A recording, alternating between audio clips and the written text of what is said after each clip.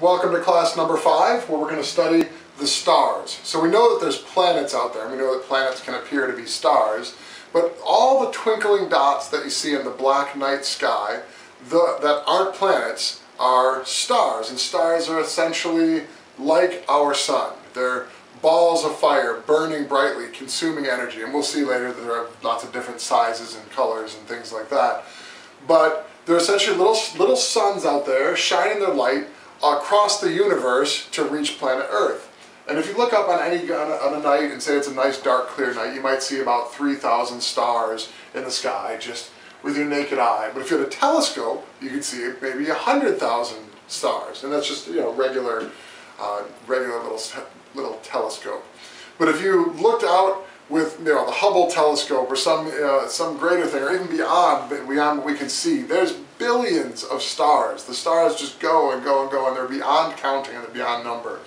Some of them we have we've named, but billions of them we have not even yet found, let alone named. So um, the skies are just the stars are just countless out there.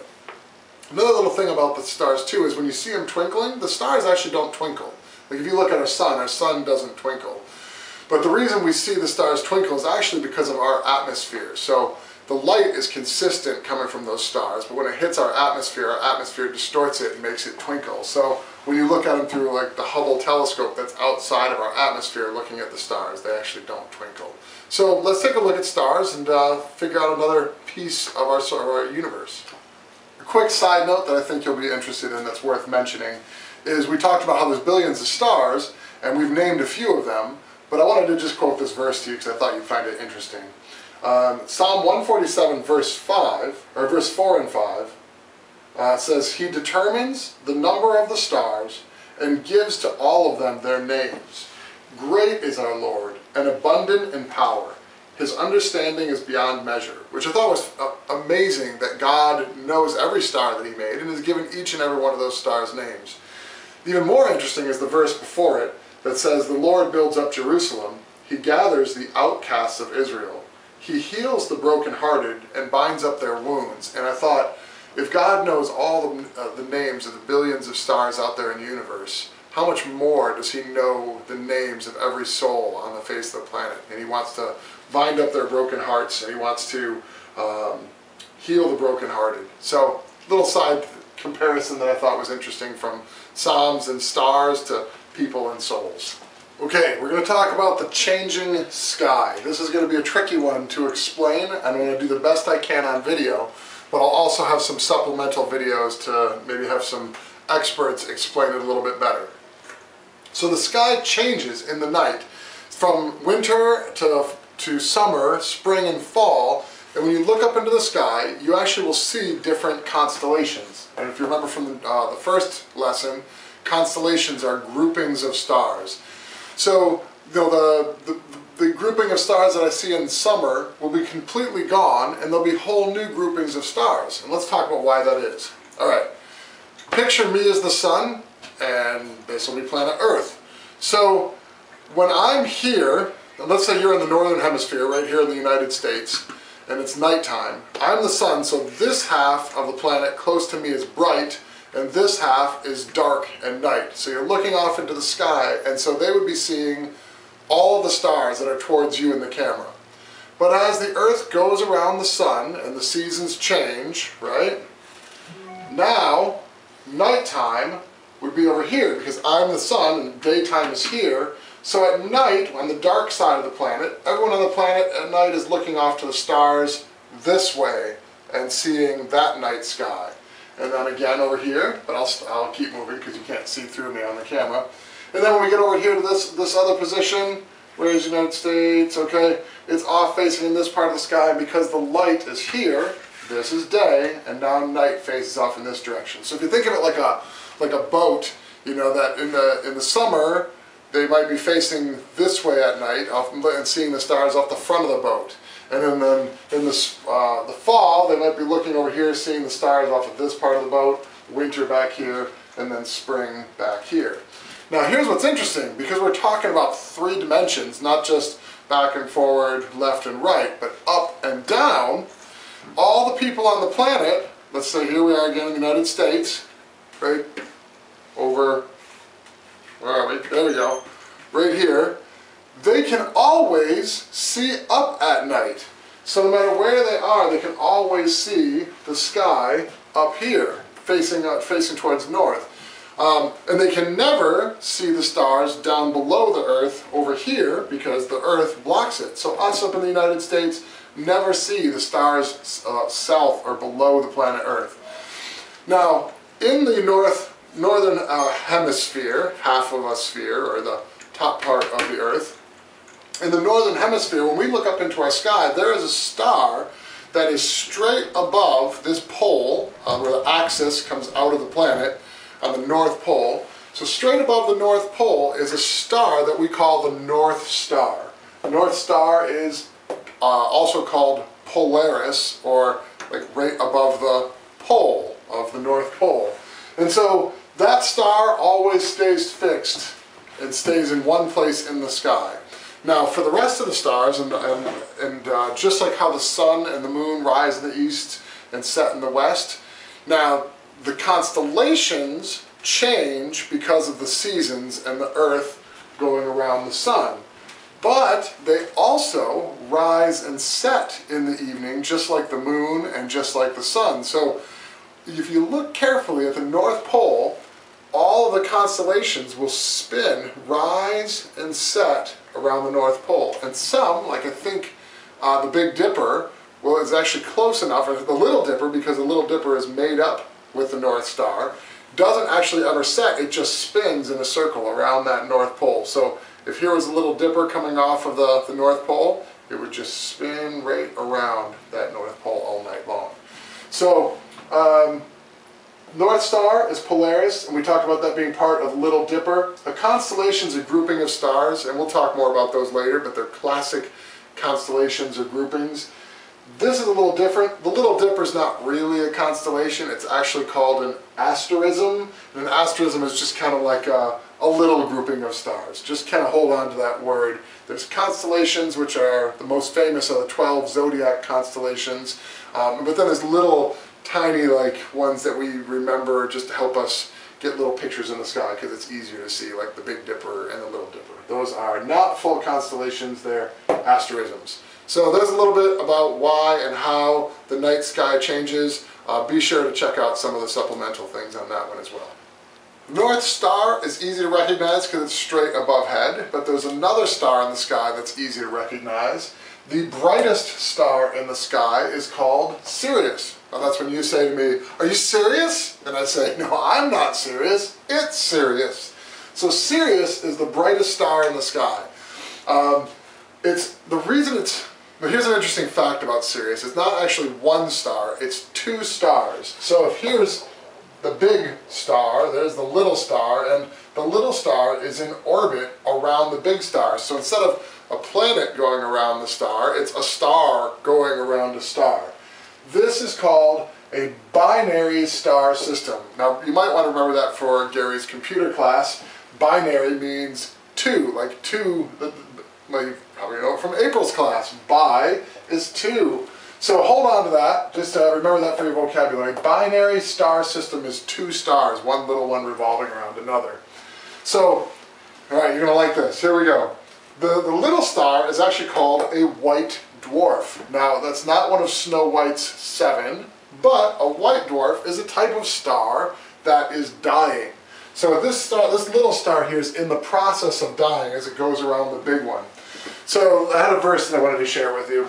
In Matthew 24, uh, it says, Heaven and earth will pass away, but my words will not pass away. And I couldn't resist, you know, knowing that people worship the sun because it's the big ball of fire in the sky that gives us life, that stars do die and they don't last forever. Even our sun won't last forever. They run out of fuel and they burn up. So don't worship the sun, because it will eventually die and burn up but worship the Son, S-O-N, because his words and he abides and lives forever.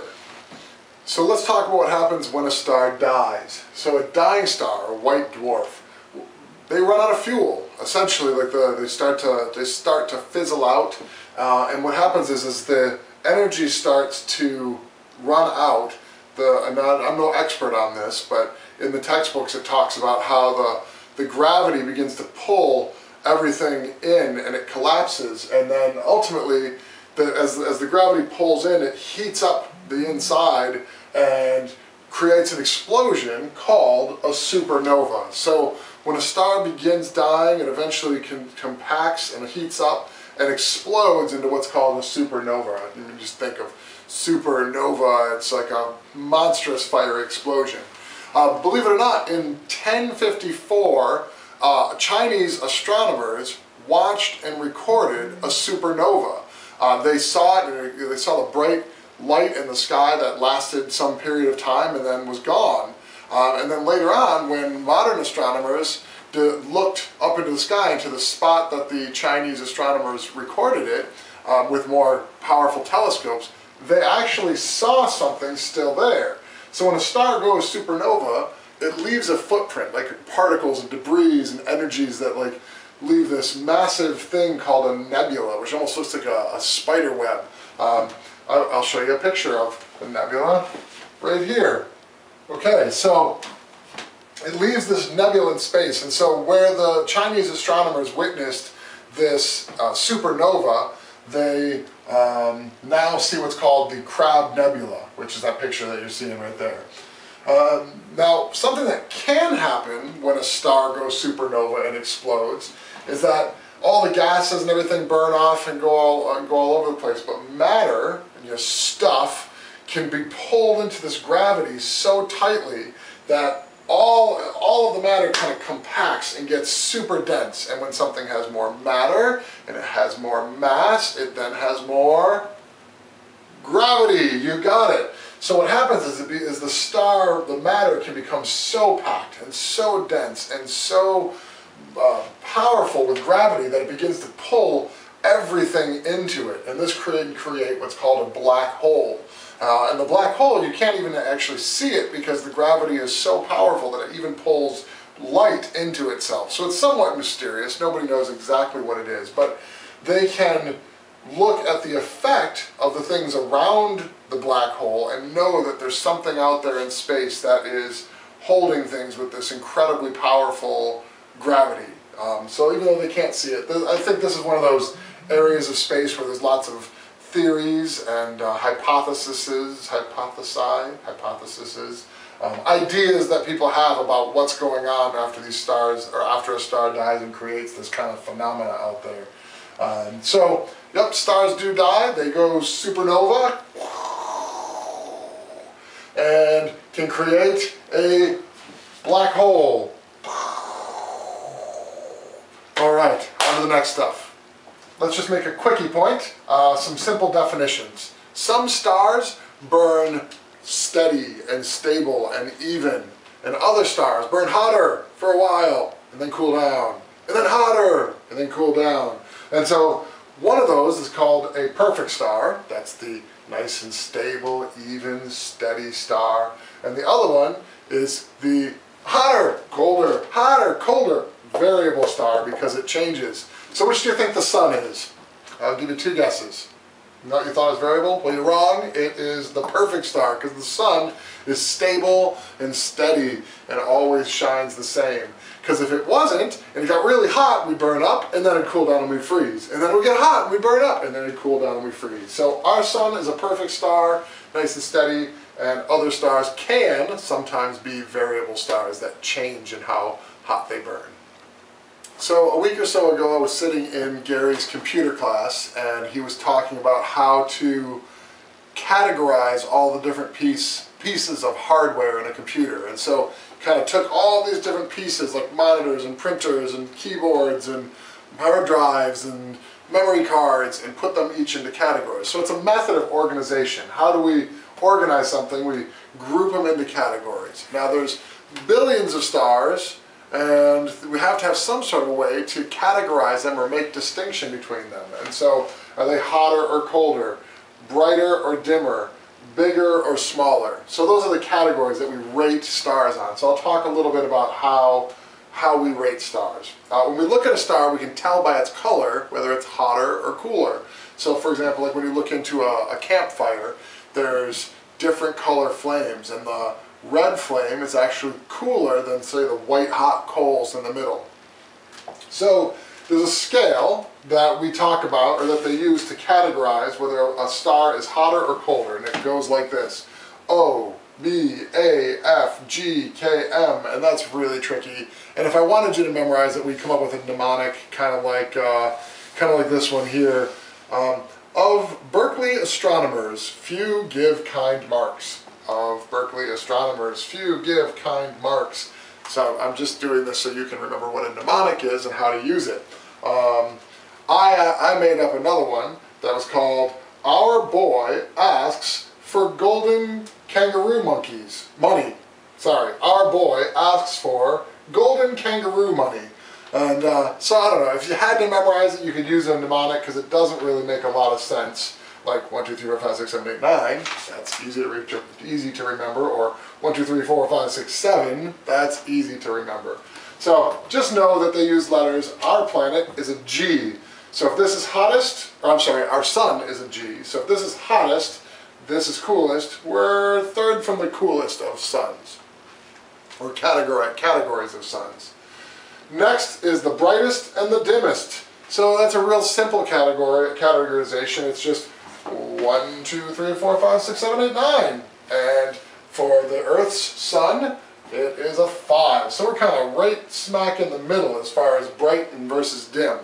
Uh, Sirius, guess what number that would be? Number 1, because it'd be really bright. So this scale goes hottest to coldest, this goes brightest to dimmest. Sirius, the brightest star in our sky, would be a 1.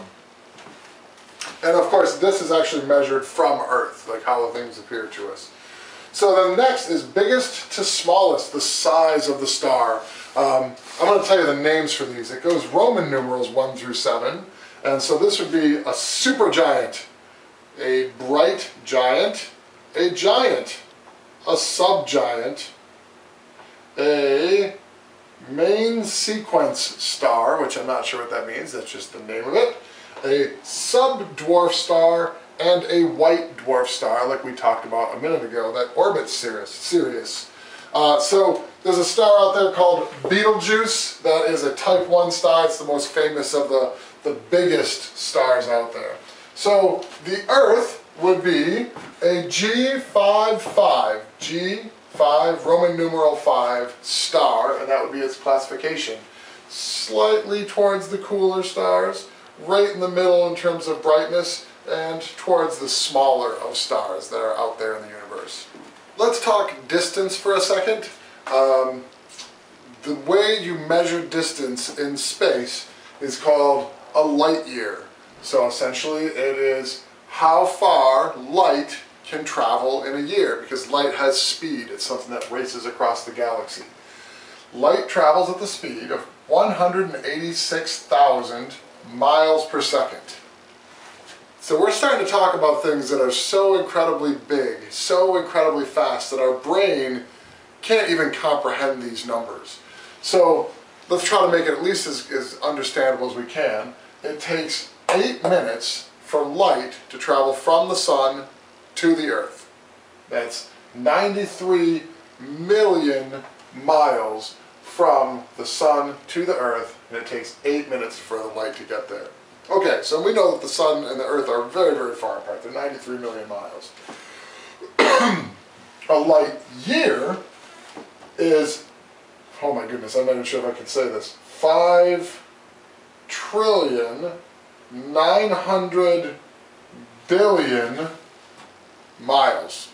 That's how far I can go in a light in a light year. 5 trillion 900 billion, there's million, there's thousands, there's hundreds. Whoa, okay, that's really, really far. I can't even imagine what 5 trillion 900 billion would look like. I can't think of anything that even remotely comes to that number.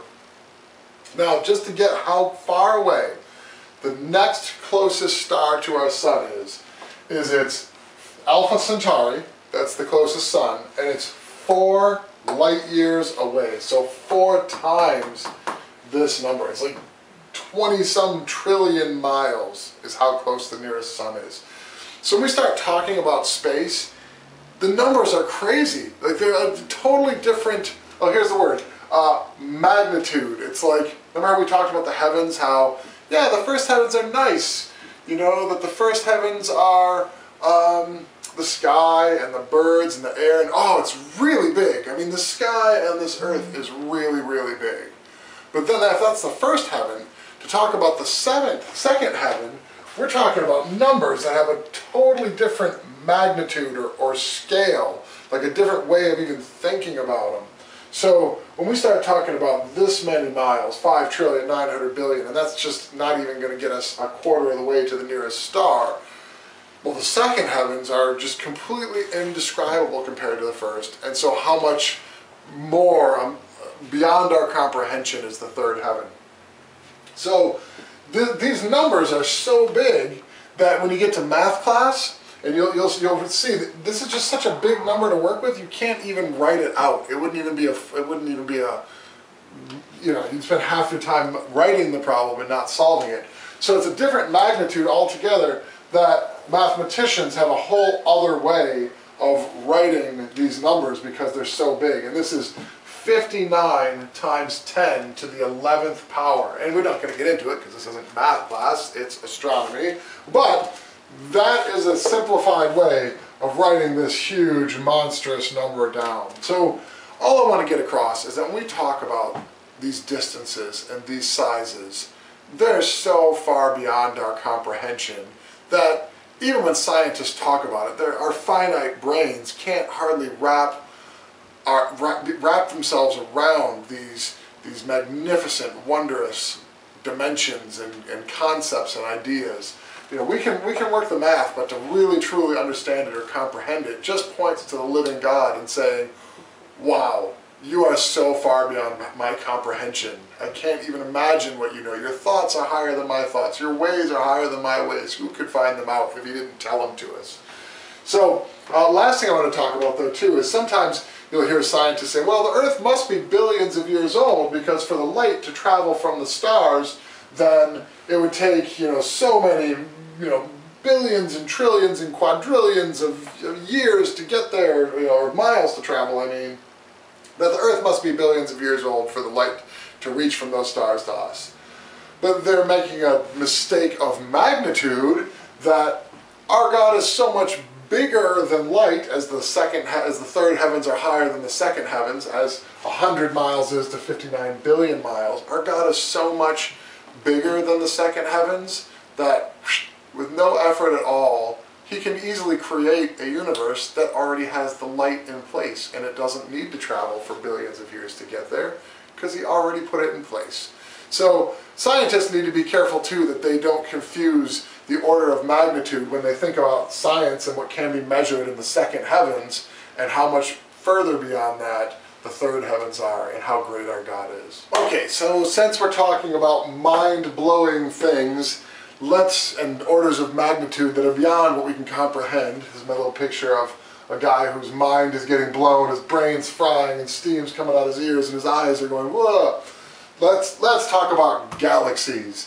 So, uh, in our galaxy, which is called the Milky Way, not the candy bar, just in case, don't Snickers if I'm talking about candy bars. So in our galaxy called the Milky Way, there are billions of stars. I remember how many zeros there were after billions. It's like, whoa, huge numbers. So there's billions of stars just in our galaxy. But there are billions of galaxies. So billions times billions is just so big that it makes you have to go, there's got to be a God who made all this, who could make all that space and all that stuff. It's just, it's, it's mind-blowing. So uh, we can't really, I can't, I can't try to help you comprehend the size of galaxies other than to say, just chew on that thought. Uh, and especially as you study more math, it'll, it'll blow your mind to know what billions times billions must be. Um, so we live in this Milky Way galaxy. You know, you can kind of see it like as you look up. You can see like uh, in a perfectly clear night with um, with no uh, light pollution. You can kind of see the pink smudginess of our galaxy and the, the stars that come from the Milky Way. That's why it's called the Milky Way, because it looks kind of like a smudgy, milky uh, band in the sky that you can see. So enough of that. Let's just talk about when you look into outer space and, and like these telescopes that can go way, way, way out and they can see other galaxies. One of the things you need to know for astronomy is that they have names and different types. So I'll stand over here because maybe I can put some pictures up on the other side. So the first type is called a spiral galaxy, and as you can see, it kind of spirals out, and you can see these arms coming off of, uh, of the galaxy. The Milky Way is a spiral galaxy. We live in a spiral galaxy. Um, an elliptical uh, galaxy kind of just looks like a smudge. It just pops right there. Or just kind of, know, not, no particular definition to it. Okay, say this one with me, class. Lenticular. Lenticular Okay, I have, I have a joke for you. What do you call a spiral galaxy with no arms? Ah, lenticular. So it's like it's like a spiral galaxy, except you can't see the arms coming out of it as much. And then lastly, because there's all kinds of other crazy shapes out there, there's what they call anything that doesn't fit these three, spiral, elliptical, or lenticular, they call it irregular because it's just not regular. It's an odd shape. So there you go, four different shapes of galaxies, talking about billions of stars in billions of galaxies, mind-blowing, crazy-sized stuff. What an incredible universe we live in. Let's finish off this extra long chapter about the stars with a quick discussion about constellations, or the groupings of the stars. There's 12 major constellations that have been known from ancient times um, from the beginning even. I'm going to read to you something here from Psalm 19, 1 to 4. The heavens declare the glory of God, and the sky above proclaims his handiwork. Day to day pours out speech, and night to night reveals knowledge. There is no speech, nor are there words whose voice is not heard. So these things are speaking and their voice is going out to be heard. Their measuring line goes out through all the earth and their words to the end of the world. So there's something about the stars and the skies and the heavens pouring out knowledge and pouring out words. And so these, these 12 major constellations, easy to remember number, it's like the 12 tribes of Israel or the 12 apostles. These 12 constellations um, have been there from the beginning. But along the way, they've been turned into something that now gets referred to as the zodiac. And the zodiac is related to astrology. Astrology is different than astronomy. Uh, astro astronomy is the study and science of the stars. Astrology is a religion or a faith regarding the stars. It's the, the worship or worthship of the stars rather than the maker of the stars. Um, so it's kind of it's people who try to tell the future or tell fortunes or predict the future based upon the patterns and the, the movements of the constellations. So this is something that came much later. Uh, the, the, the God who made the stars came first. And so the Hebrews had this thing called the Mazzaroth, which were still the 12 major constellations. And if you notice, the constellations don't really look much like what they're called. And that's because the primary uh, emphasis wasn't about the shape, it was about the names, it was about the story, it was about the message. So they gave these groupings of stars names and tried to draw pictures to help remember it, but the, it was the names and the ages that were important. So it was telling a story in the stars. And I'm not going to get into that now. I, you could spend a lot of time talking about the different constellations and how they tell the story of the gospel, you know, of, the, of Leo, the, the lion who was to come, of Virgo, the virgin, and things like that. So I will put that in the supplemental material for you to take a look at and to enjoy and peruse at your leisure.